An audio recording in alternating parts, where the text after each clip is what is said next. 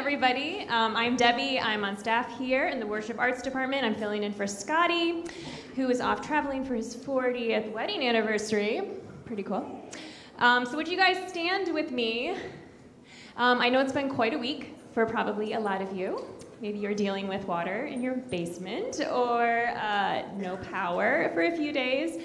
Um, but it's times like that that I think that we really see, you know, the family of God come together Maybe you have loaned out a generator to somebody or, you know, let them use your Wi-Fi, right? Or given them your chainsaw or something. So I'm really glad that we can all be a part of this amazing family, which we sing together, the family of God.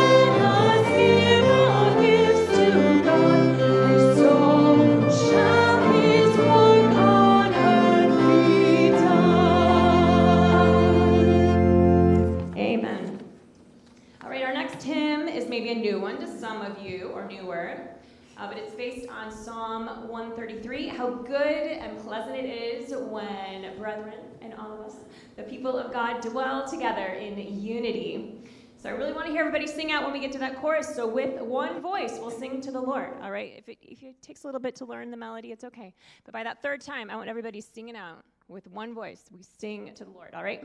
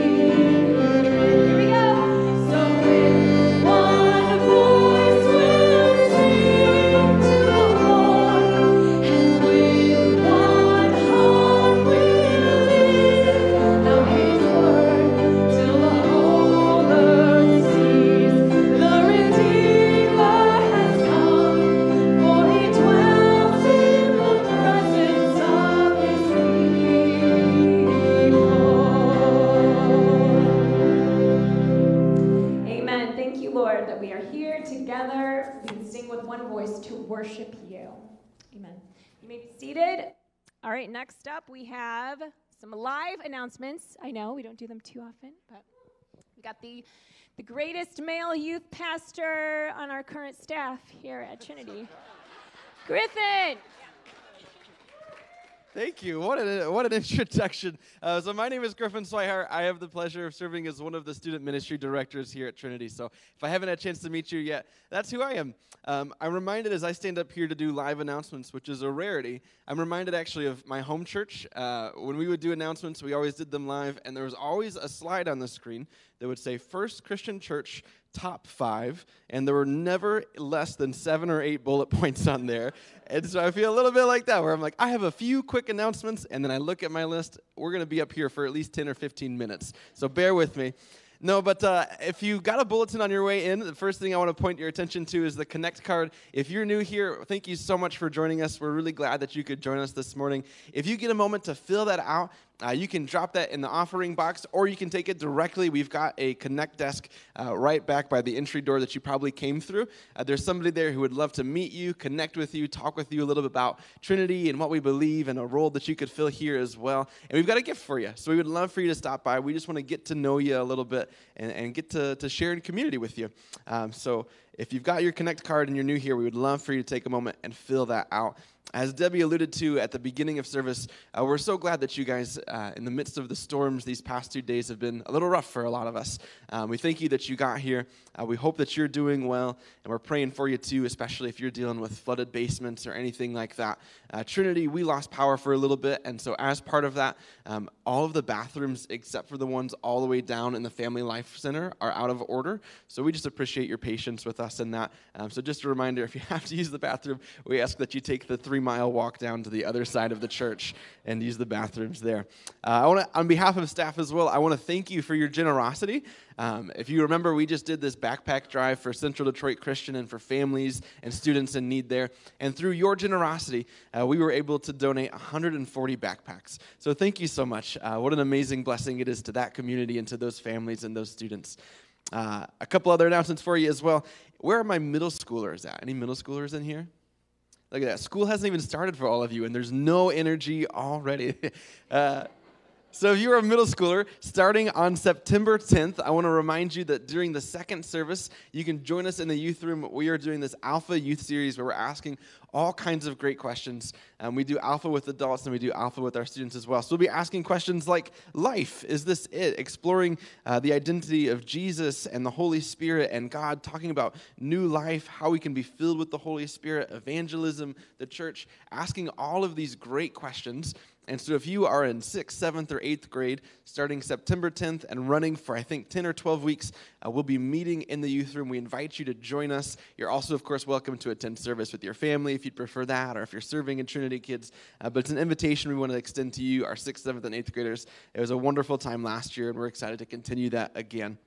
Uh, this is for an invitation for all of us. Two weeks from now, September 10th, we are going to be having a ministry fair. And so we did this last year and we're excited to do it again. So if you're new here, if you've been here for a decade, it's an awesome opportunity to come and to see all of the different uh, worship uh, opportunities there are, all of the different service opportunities there are here at Trinity. So we're going to have a ministry fair, different booths set up for Trinity Kids and Awana and student ministry and prime time, all of the wonderful ministries that are going on where you can go and you can learn more about a ministry that you may not know about. If you're looking for a way to connect and looking for a way to serve in the church, you can go and stop by some of the booths and get more information that way as well.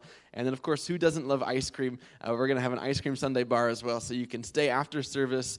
Uh, actually, between both services, so between the nine o'clock and the ten thirty, you can join us down in the FLC Worship Center for an ice cream sundae bar. Get to know people at the booths, and then similarly, if you plan on joining us for our ten thirty service, you can stay afterward same thing. Get to know some of the ministries, uh, get some more information, enjoy some ice cream. It's going to be a great time. And that's not next week, but the week after. So that's September 10th.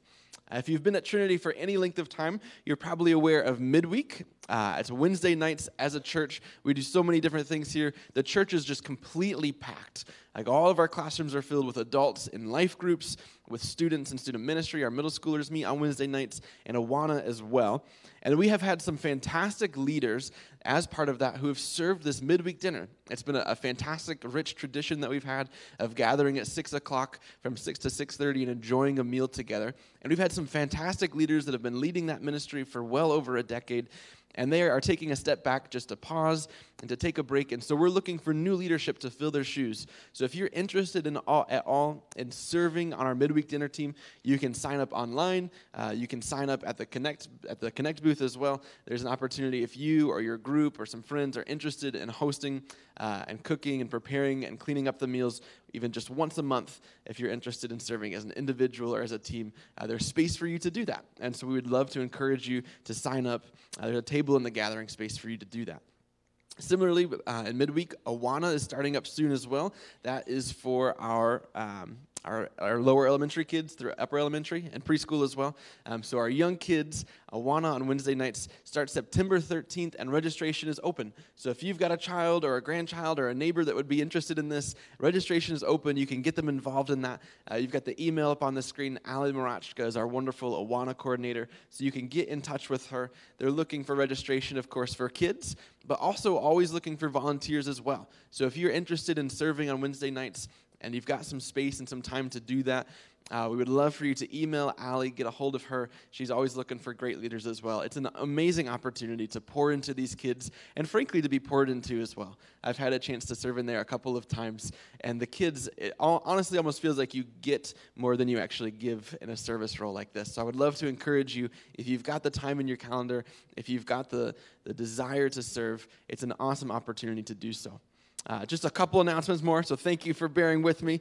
Um, and then we'll get on with the rest of our worship service. If you want to worship with us through giving this morning, uh, you can do so online, you can do so by mail, or as you make your way out of service um, on the doors on the right, uh, there's a box by the door that you can give uh, physically as well. And so if you want to join us in worship through giving, uh, it's a great way to give back to God the ways that we have been so richly blessed by Him. And then one final announcement, and followed by a video. Uh, speaking of Wednesday nights, we are super excited to offer this new uh, marriage class. And so it's open to both married people and to singles, um, but we're for the first time offering a marriage class on Wednesday nights. There is a sign up, I believe it's $50 for a single person, $100 for a couple. Um, but it's an amazing opportunity to grow in your relationship, to find ways to prioritize your marriage and grow closer to your partner and also grow closer to God.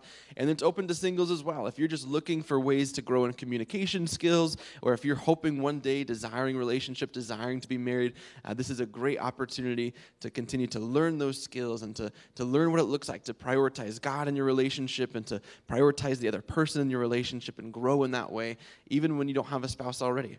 And so we want to encourage you to sign up for that. And we've got a testimony from a couple that has gone through the class before. And so I'm going to get off the screen or off the stage so you don't have to look at my face anymore. And I want to invite you to turn your attention to the screens and hear from uh, a couple that's gone through this class before as you consider signing up for it yourselves. Hello, my name is Bill Thatcher. This is my wife Judy. Pastor Tom and Ruth Ann asked us to share about our experience with the Heart and Soul class that we took now several years ago. And we can safely say that all of the other marriage material that we had studied did not have the impact that the Heart and Soul class did. We had read lots of books, we had attended marriage retreats, but the Heart and Soul class really went deeper and really helped us to understand a lot of the behaviors that we were exhibiting as adults. Ish, adultish. Adults. And so, so I would say at that point of time, I um, it was a very tough time in our marriage, and it really hit a wall, and I needed more answers than the typical marriage classes at that point of time um, were being given. I appreciate um, uh, Ruth Ann and Tom coming together and really bringing a class that was spirit, soul, and body, not just spirit. And if you're a more spiritual person, you could do this, but really bringing in the soul, the baggage, the stuff that we come into marriage with, and helping us to recognize the triggers that we have within ourselves that create probably illogical and maybe logical conflict within our marriage and helping us recognize those, the walls we put between us. And when we put walls between us, because we're covenant partners, we put walls between us and God. And um, helping us to recognize what those words were and tear them down. And after that class, we um, had a, a, tremendous breakthrough, and it was a, uh, it was such a blessing to us. And um, and yeah, can't say enough and we really appreciate uh, the anointing that Pastor Tom and Ruth Ann have to help people, couples like us, new couple, newlywed couples, and oldie wed couples, um, to have breakthrough and have a better marriage. Yeah. So we can't recommend enough. We pray that you'll attend, and we pray that it have a life-changing impact upon your marriage as well. God bless.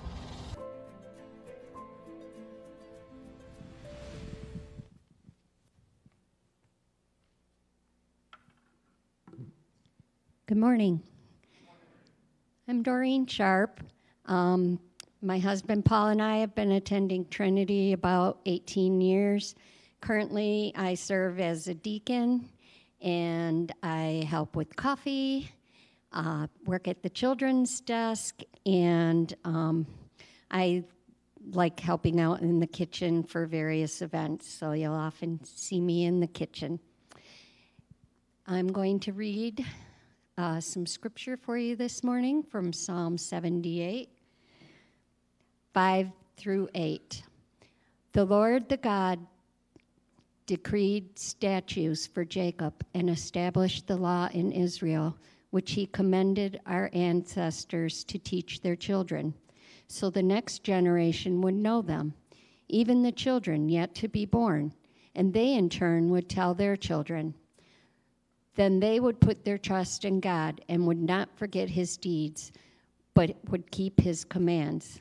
They would not be like their ancestors, a stubborn and rebellious generation whose hearts were not loyal to God, whose spirits were not faithful to him. Great is the Lord and most worthy of praise. His greatness no one can fathom. One generation commands your works to another. They tell of your mighty acts. They speak of the glorious splendor of your majesty, and I will meditate on your wonderful works. This is the word of the Lord.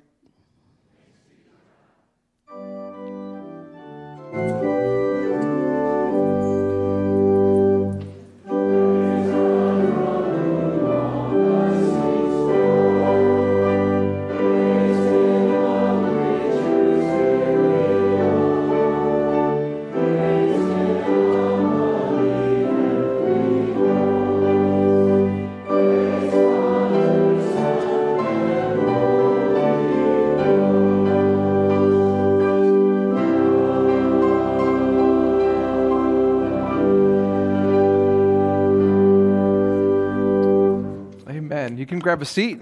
Uh, my name is Mark, and uh, I'm glad to be here with you guys. We, we uh, at the church lost power. How many of you lost power or lost a tree or lost tree limbs? Look at um, lots of us in this room. It was a big deal.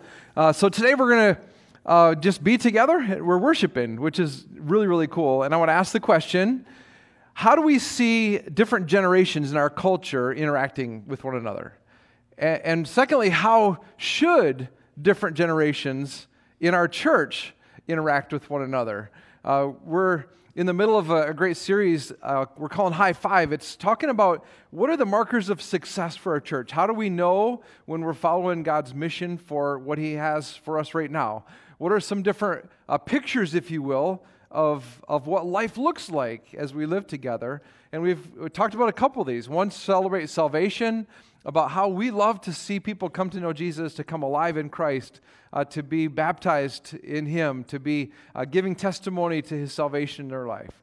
I want to be a church that continues to live life with Bibles wide open and have a discipleship culture where we're growing in Christ. We're following Jesus together. Next week, we'll talk about missions and being mission minded. We'll talk a bit about uh, 210, two great worship services that we continue to make better and better with one church and zero debt. Today, we're going to talk about cross generational community. And in our culture over the last few years, uh, it feels like a small scale war has broken out between different cultures. And uh, sometimes it's done in funny ways. Maybe you'll recognize how it's done in this commercial uh, that we're going to show right now. This is a funny way to poke fun at some of the different ways uh, that people interact with one another. Let's watch this. Hi, Dr. Rick. It's Julie. Just leaving you a voicemail. My number is 618-437-7425. Okay. It's for Can anyone else. tell me what Julie did wrong there? You gotta repeat the number. I mean, no one's ever gonna get it the first time. Nope. Didn't leave her last name. No, the, the phone tells you who called. Yeah, she didn't mention a good time to call her back. How am I supposed to know when to call her back? No, she just sh- shouldn't have left a voicemail. Nine out of ten times a text will do. Progressive can't save you from becoming your parents, but we can save you money when you bundle home and auto with us. Well, welcome to the Progressive Insurance Auditorium at Trinity Church. Uh, but um, Dr. Rick is constantly, and you've seen these commercials, right? He's constantly trying to help younger people not become like their parents, the most annoying habits that they have, or the goofy things that we do as, as older adults. So he's constantly and unsuccessfully trying to help with that. Some of the skirmishes um, revolve around this battle that's taken place between boomers and millennials. Anybody hear about this? You're participating in this. Um, so lots of you. Uh, so it starts out with different jabs, right, back and forth. It's jokes that that oftentimes were started by the boomers about the worst caricature of millennials, and so you you get jokes like, you know, why can't millennials take a joke? Well, because the jokes always hit a little bit too close to their parents' home uh, groaners, right? Or and then the millennial rejoinder, of course, is you know my grandpa told me you millennials are too dependent on your technology, so I unplugged his life support. Whew. or or behind every broke millennial, there's a baby boomer that makes six figures but can't open a PDF. Hmm. As it goes back and forth, it, uh, sometimes it takes the form of memes or pictures. If you don't know what a meme is, then maybe you're part of the older generation. That's the point. So, so much criticism from boomers uh, saying, saying stuff that the phrase okay boomer becomes a thing, which is a way of saying you older people just don't have a clue. And so you see pictures like um, this one up on the screen. I think we have some pictures. So, so you might recognize this guy, Willy Wonka, in the chocolate factory. Oh, I should be able to afford a house at 20 because you bought one for $11,000 in 1966. Okay, boomer. We have kids. You cannot do that, right? Um, so, other generations, they just sit back and laugh. And they think, oh, if those younger people or those older people get it, so I'm a Gen Xer right on the border. And you might recognize this photo, uh, this movie. And this is another meme. Just remember for every boomer that hates millennials, there's a generation in between that hates you both. right? And it, it, just goes on and on like that. So people my age and above complain that the younger generations don't work as hard, they're not as patriotic, they are too entitled, they're res- as resilient as snowflakes, and they love their participation trophies. Hmm? Younger generations complain about their bigoted and backward parents and grandparents that they've left them a country that's over $32 trillion in debt, refuse to deal with climate change, and constantly say, back in our day, as if we could time travel back when typewriters were the most important technology uh, that existed.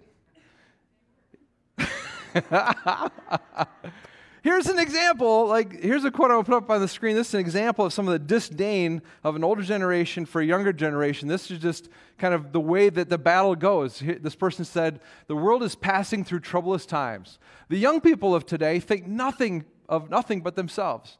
They have no reverence for parents or old age. They're impatient of all restraint. They talk as if they knew everything. And what passes for wisdom with us is foolishness with them. As for the girls, they're forward, immodest, and unladylike in speech, behavior, and dress. Who said that? Did anybody recognize that? Was it like a right wing politician? Was it some newscaster? Ancient Greek. Listen, this was Peter the Hermit, a preacher back in the Crusade days. 1074 said those words. Or maybe you've heard of a guy named Plato Here's what Plato said uh, around 370 BC What's happening to our young people? They disrespect their elders, they disobey their parents, they ignore the law, they riot in the streets, inflamed with wild notions. Their morals are decaying. What is to become of them? Of course, little did Plato know that the people of that generation that he was referring to would go on to lead incredible developments in mathematics and astronomy and language, and even invent something so seemingly insignificant but widely used as the alarm clock. or what about this? Another quote uh, from the 8th century BC. This is 700s BC, 2700 years ago. A guy named Hesiod wrote this I see no hope for the future of our people if they're dependent on frivolous youth of today. For certainly all youth are reckless beyond words. When I was young, who's ever said that? When I was young, we were taught to be discreet and respectful of elders, but the present youth are exceedingly disrespectful and impatient of restraint.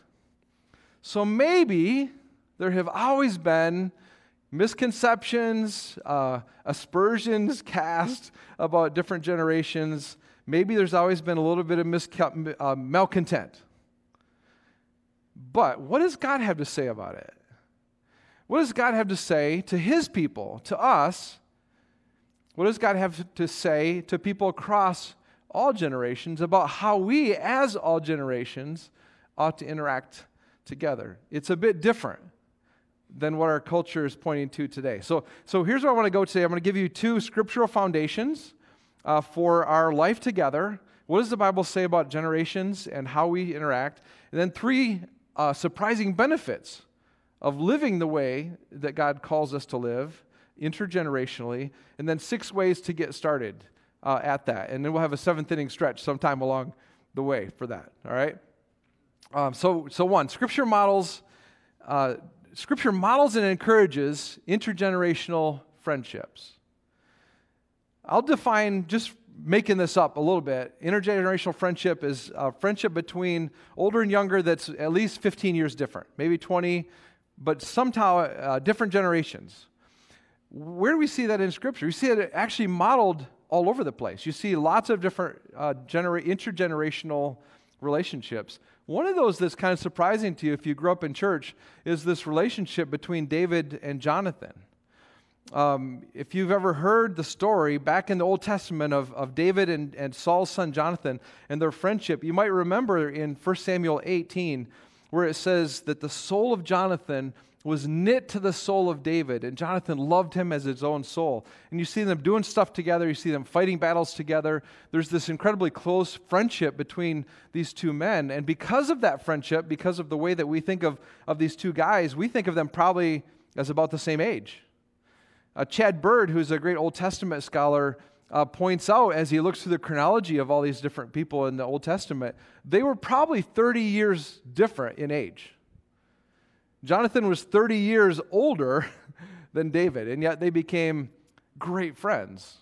Uh, you see examples uh, from different places uh, Samuel and Eli in the Old Testament. You have Samuel, the priest, Eli, the young boy. Who hears this voice, doesn't know what it is. He goes, and, and Samuel says, uh, eventually, listen to this voice and it turns out to be the voice of God. You have this great relationship. Eli needs Samuel, Samuel needs Eli. Elijah and Elisha in the Old Testament, Naomi and Ruth, Paul and Timothy, all these are examples of deep intergenerational friendships, deep intergenerational, uh, intergenerational relationships. And so you see this enduring value, Old Testament and New Testament, for thousands of years. This is how God wants us as his people to live. And I can just say, I am deeply grateful for the older men in my life. Um, the age that is older keeps getting higher and higher for some reason, but um, so many different times in my life. When my dad passed away, there were several men that I leaned into at this church uh, 10 years ago, 11 years ago, that helped me process what it looks like to lose a dad. It's a big deal. Or when you're struggling with parenting teenagers, lots of different men I would turn to, or different things with relation to finances or aging. I continue to turn to older men. I also am deeply grateful for younger men and women in my life, uh, both in my family and at this church, that I talk to about different things they're experiencing and, in different ways. And I learn more about music, or I learn more about politics, I learn more about culture, and lots of different wisdom uh, from intergenerational uh, relationships. That's a big deal throughout Scripture. The second thing that I would say from the Bible is that the church, our church, all churches, the church worldwide, consists of all generations doing life together. And if there's a sermon in a sentence for today, if there's one thing that you take away, you forget everything else I say, this is the big deal. This is the big idea for today. The church consists of all generations living life together. Think about the times in the Bible. If you're, if you're a reader of the Bible, how many times in the Bible does it describe the church as the family of God or the body of Christ or a community of believers? It is all of us together. A couple of different times uh, in my pastoral ministry, I found myself in a, in a span of a week officiating a wedding, officiating a funeral, and doing a baby baptism. It's kind of surreal in a way, but it's one of the great privileges that I have as a pastor to be able to minister uh, with and to our church family, you guys, across all generations. I think it's a beautiful thing. It's a reminder of the diversity of, of church and the way it's supposed to look across all of our ages. So, some of us are younger, uh, some of us are older. I'll leave it to you to decide which category you put yourself in but we're all across the spectrum, and that's actually really, really good.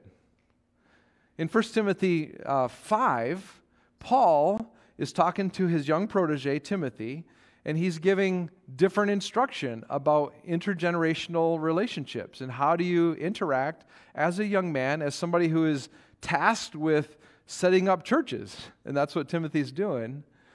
He says stuff like this Do not rebuke an older man harshly but exhort him as if he were your father.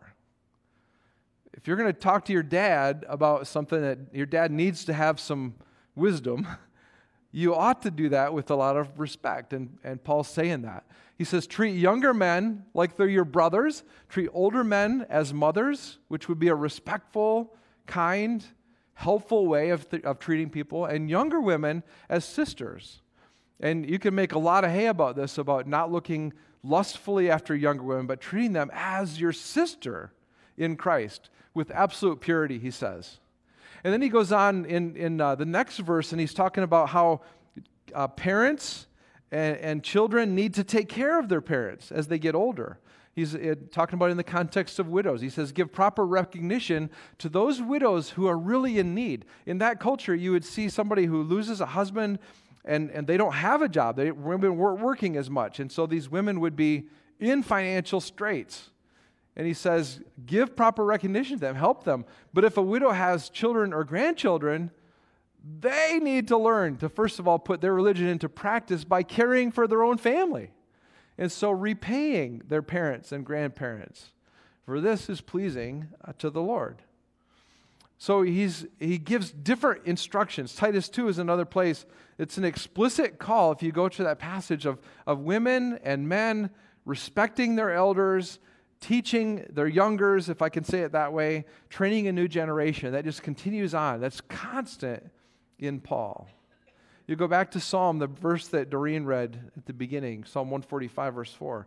We hear the command One generation shall commend your works to another and shall declare your mighty acts.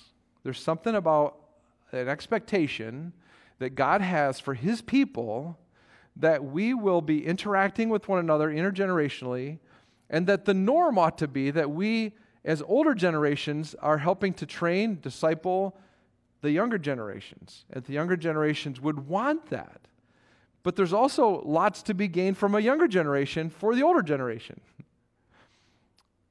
In the Bible, we, as God's people, cannot be the ones who are casting aspersions, making jokes about each generation. We need to be working together in Christ. Amen?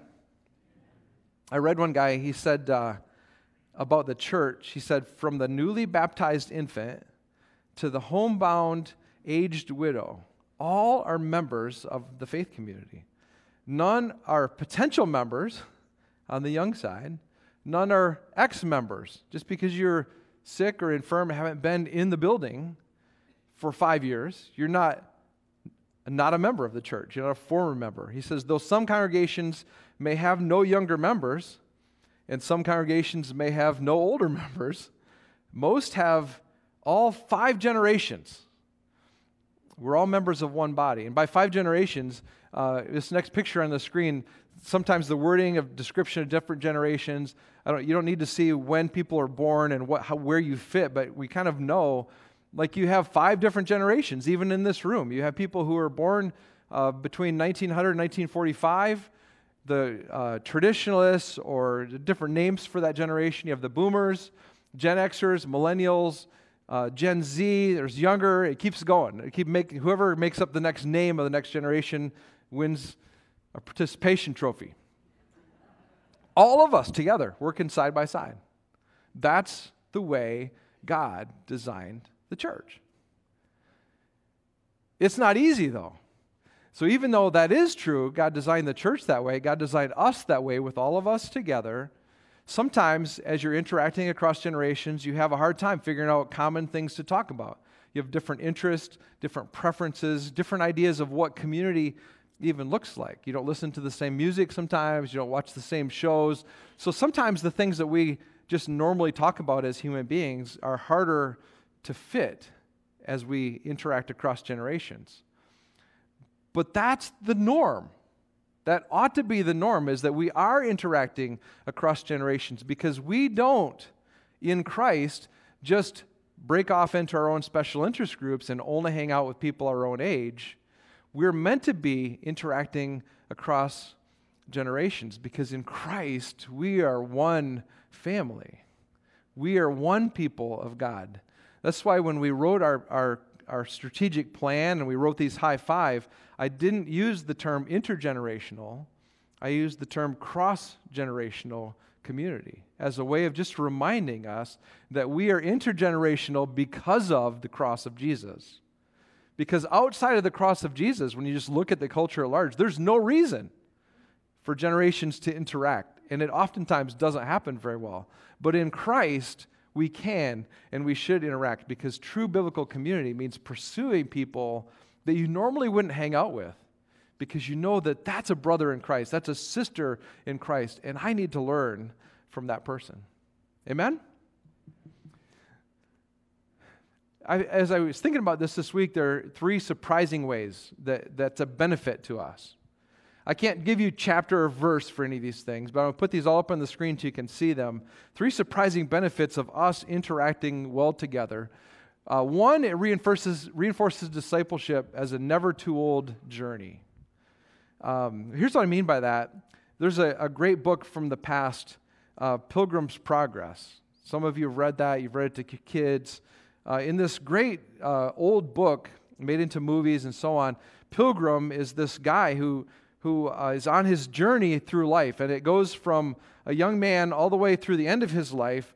And, and it shows the ups and the downs, the temptations, and all the different things. And, and you realize that spiritual life or discipleship in Christ, following Jesus, is this lifelong journey. And that's actually really a great metaphor that uh, life in Christ is like a journey. And when you're young, you realize that because you're going through school, you're, you're growing up, you're going through uh, elementary school to middle school to high school, then maybe to college or jobs, and, and then you enter real life. And then, and this is what I used to think, and maybe you've thought this before, when you get to be an adult, then you're a finished product. And, and you don't grow anymore. You're just kind of static. You're like the piece of toast that just sits on the counter and you just grow old, crusty, and moldy. but what you realize, you know, when you hit adulthood, you realize, wow, I'm, I'm still growing actually. There are things that I, I know t- now that I didn't know 10 years ago. I just sat down last week and I was asking my mom and her husband, um, what, it, what was, if you could talk to your 20 year old ago self, what would you say to that self? And what, how have you grown over these 20 years? And we just had a great dialogue about that because every one of us as adults, we keep growing, we keep changing, we keep morphing, we keep becoming, hopefully, more and more like Christ. And to have a younger generation see that is actually really encouraging to know that once I get to be an adult, I'm not a finished product. I actually continue to grow. That's a huge benefit of us working together. That's number one. Number two, an edification spiral, we'll call it. And, and that's just a fancy way of saying when, when I see and when you see a teenager or a child give their life to Christ, and be baptized on a stage or give a testimony about the way that Christ has changed their life. I get pumped about that. When I see a, a, teenager or a college student who's, who's wrestling through some of the faith issues that they're dealing with, and they're honestly trying to learn what it looks like to follow Christ in their generation, I get really excited about that. And when I get excited about that, and when you get excited about that, it causes us to take stock of our spiritual life. And we begin to think, man, if, if like I don't need to be old and stodgy, I can continue to grow. And so it makes me excited. Then when a younger generation sees you excited and sees you giving or serving or, or teaching or, or any number of things, it gets them excited. And the more that goes, it becomes a positive spiral, and that becomes a healthy church, a good church that knows that the value of intergenerational relationships is we we keep building one another up. Amen? You see that? And then, third, a blind spot mirror. You know, when you're driving behind a, a semi trailer and they, you see the sign on there that says, Be careful, I've got blind spots here, I can't see. Because no matter how, they, how hard they try, they can't see you coming in certain spots. It would be nice if we as human beings had blind spot mirrors where we could see the things that we can't see. Because sometimes and all generations have their blind spots. We don't know what we don't know until somebody points that out to us. We don't know the assumptions that we have or the words that we use, and we don't realize, maybe as an older generation, that the things that you might say about uh, relation to gender or race or politics can be really highly offensive to a younger generation. And a younger generation needs to see that some of their enthusiasm, some of the, the uh, just uh, optimism about life isn't actually going to help them. They need to be optimistic, but they need to have some realism and they need to see that. We need blind spot mirrors in our life, and sometimes intergenerational communication is great at that. There are some real benefits to living life with different people of different ages. And so, if I could give you one key uh, next step or one uh, takeaway, one daily little, if you will, and this will be challenging for each one of us, it's to identify somebody who's not your age and be, get to know them better. Identify somebody who's 15, 20 years different from you and get to know them in a better way. And you might say, well, how do I do that? It, it's actually not that hard. It's not rocket science. I'm going to give you six ways. We'll walk through these quick. Six ways that we can foster, and we try to foster intergenerational community here at our church. And one of them is to volunteer uh, in the church body. because service in our church is not limited to one age group. You don't have to be over 55 in order to serve in different ministries. Uh, when our daughter was in 11th grade, she was part of a, a, women's ministry outreach team. And she would meet regularly with, with all the adults, and they interacted together, and it was amazing. Uh, every month, our kids, our teens, our adults work side by side at the food pantry. They're packing food, they're serving food to people who are in need. Last year and lots of years before that, we participated as a church in Operation Christmas Child, where adults and, and kids together are packing toys for kids uh, to, to give away. Our Awana ministry, our vacation Bible school, great places for adults and teens to work side by side, serving with one another, learning from one another, and helping an even younger generation grow in their faith. In fact, uh, I can just say this Alyssa Towns, our children's director, would love to have more of you helping out with Awana on Wednesday nights or with kids' ministry on Sunday mornings. Um, let me just press in for a second on this. And if you squirm a little bit, I want you to. Parents that come to our church with their children, with their teenagers, need an opportunity to be able to come into worship together with us on a Sunday to learn and be in a small group on Wednesdays. We need that. And, and you remember, empty nesters, those of you who have kids who are gone, you remember how awesome it was to have people who are older than you when you had kids that were helping out in Awana or VBS or Sunday morning Sunday school. You remember how awesome it was. Be that person for one of these younger couples. And if you're a, a, a, person, a single or a couple who has children in our, our kids' ministry, um, here's, here's my challenge to you is you've got to think of Sunday mornings and Wednesday nights as a co-op, not as a daycare. A co-op means that you come together and you share in the duties. You, you, a daycare means you just drop off the child and you pay for somebody else to do something. That's not how we run a church. A church is a co op. A church means that you come and one week you're volunteering and you're watching the kids and you're teaching the kids and you're learning the kids' names and you're, you're investing in their life. And then the next three weeks, the next four weeks, the next five weeks, somebody else is doing that so that you can be in worship or you can come into class or small group on a Wednesday night. Every one of us ought to be serving in different ways. Maybe children's ministry isn't your thing, teen ministry, but more of us need to be doing that. Now, can I get an amen? Which means I'm with you and I'm volunteering. and here's the thing I don't want to put too fine a point on it, but as your pastor, I just want you to realize that the work done in our children's ministry, especially like ages 5 to 12, is probably the most strategic ministry in our entire church. We have lots of great ministries, lots and lots of great ministries, but that probably is the most strategic of all of them. Research firm uh, Barna has showed um, that the deadline, if you will, it doesn't just stop here, but the deadline for shaping the faith of our young people is probably close to the age of 13, 12 or 13 one of the things they said is a person's worldview is primarily shaped and is firmly in place by the time somebody reaches the age of 13. When they're in our kids' ministry here on Wednesdays, on Sundays, they're learning and growing and having their faith shaped. Wouldn't it be awesome to have their faith shaped by you? Somebody who loves Jesus and wants to help that child come to know him and grow in him. And it makes a huge difference um, your investment in a child's life, and I, I, again, I, want to make you squirm a little bit. There's some grim statistics about the number of kids leaving the church once they're grown. David Kinnaman is one of the authors who wrote a book, You Lost Me Why Young Christians Are Leaving the Church and Rethinking the Faith. And studies, his studies have shown, and others have borne this out, that only three in 10 children who grow up in church end up continuing in their faith into adult years.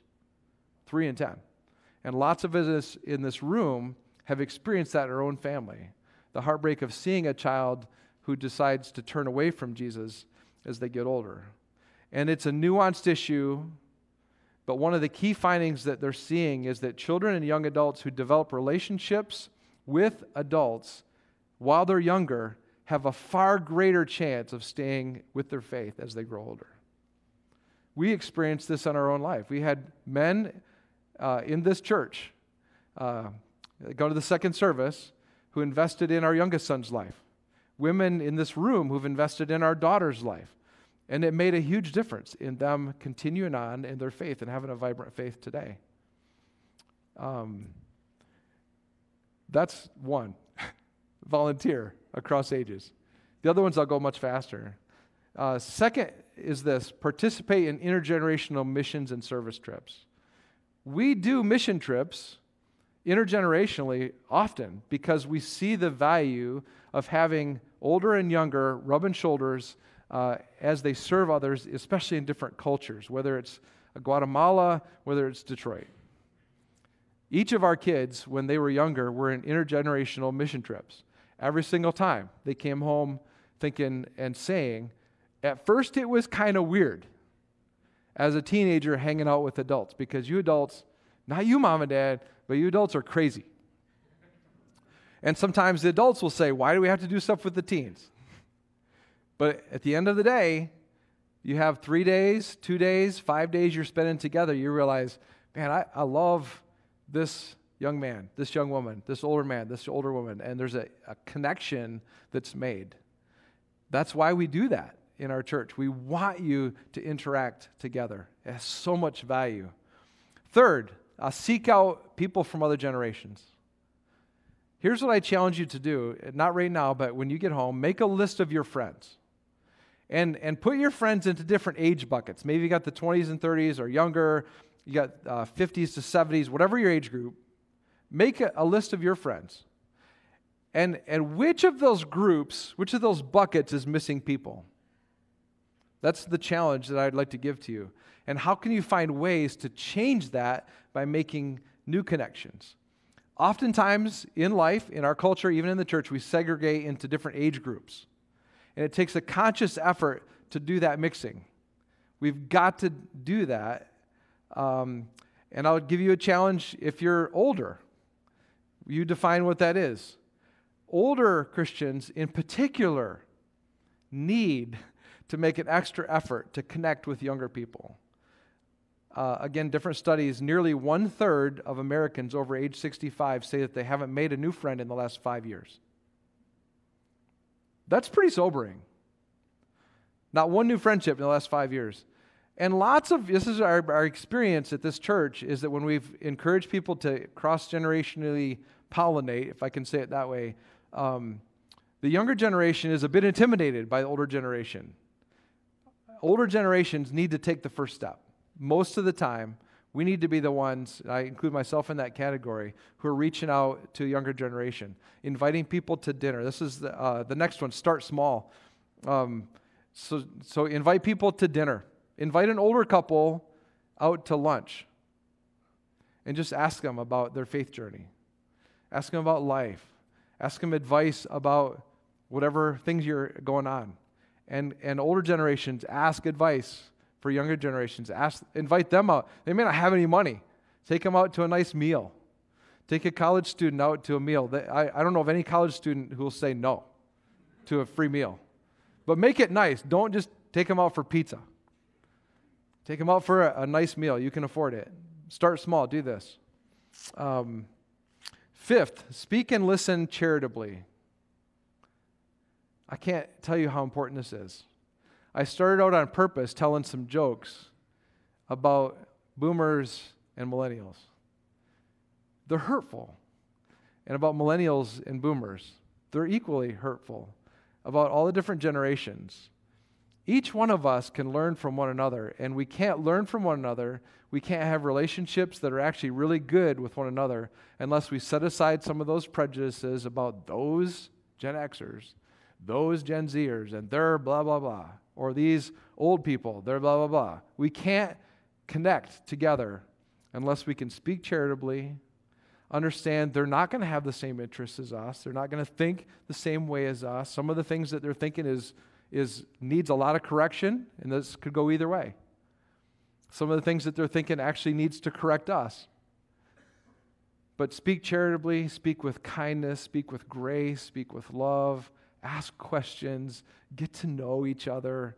That's how we proceed in this life that God's called us to. We speak and act charitably and carefully and lovely and with grace. And then, lastly, this, and we'll close with this find the connection. C.S. Lewis uh, once wrote Friendship is born at the moment when one person says to another, What? You too? I thought that nobody else but me. That's when friendship is born. And so, as we search together and live life together and we have connection together, that's the attitude that we ought to take is, is to find other people, to learn from them, to love them well, to have grace, to listen, to care. That's the way that we, as God's church, can live in light of Christ, in light of the cross, have a healthy church, and to love one another well. That's what we mean when we say uh, cross generational community. And so when you hear us use that phrase, it's not a, uh, a make believe thing, it is us together living in the gospel. Amen? And so, Father, we pray today, and we're thankful that even in this room, we are a church that has babies and that has 90 some year olds and all in between, and that somehow you've drawn us together and that we can learn from one another. We're not meant to be here just living in separate metaphorical bedrooms but we're meant to be here together as your people, caring for one another, living the gospel in our culture, in our generation, so that the world can see how Christ draws us together. So help us as we come alive in Jesus, we grow in Jesus, and we change the world in Jesus to do that across all ages for your glory and for our good. In Jesus' name, amen.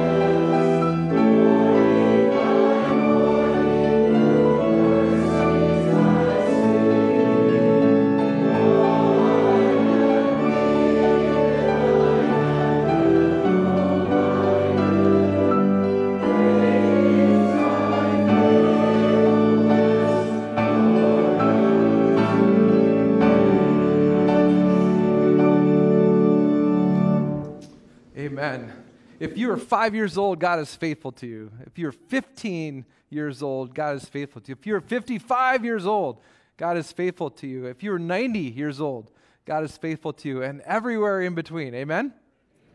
Love for you to receive a blessing. If you want to lift your hands, lift your hearts, then your eyes. Go today in the grace and the peace of Jesus Christ, the one who saves all generations. Amen and amen. Have a great day, everybody.